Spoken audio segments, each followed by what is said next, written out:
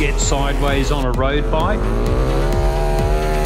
If you aren't Casey Stoner, then it's not a great idea on the road. But on a flat track, why not?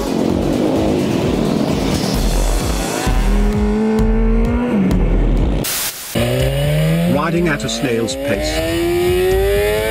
Embarrassed by your lack of speed? Buy our Nitro Thrust and Turbo Boost kits.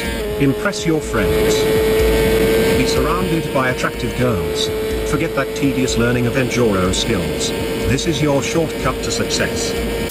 This event is called Dust Hustle, and they put a unique spin on it. No race experience needed, the main rule is expect to have a lot of fun.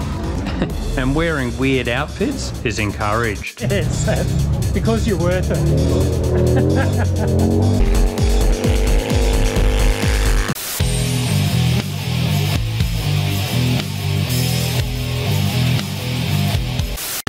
class is called Risky Road Bikes.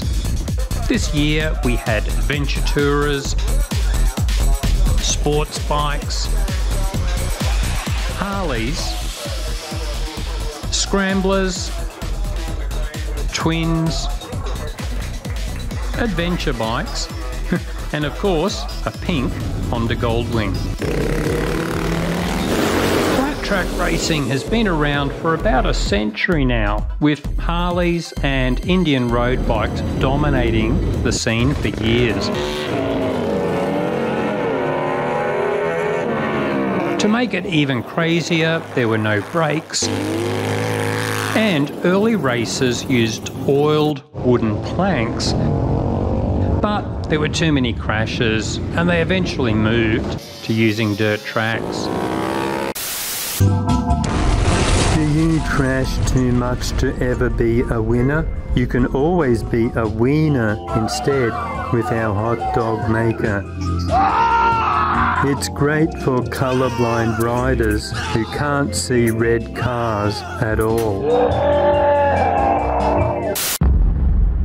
Flat track racing peaked in the 1960s and 1970s.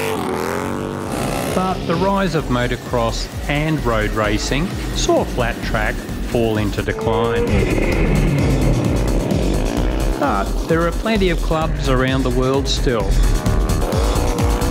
and events like Dust Hustle are a fun way to have a crack at flat track racing on pretty much any kind of bike.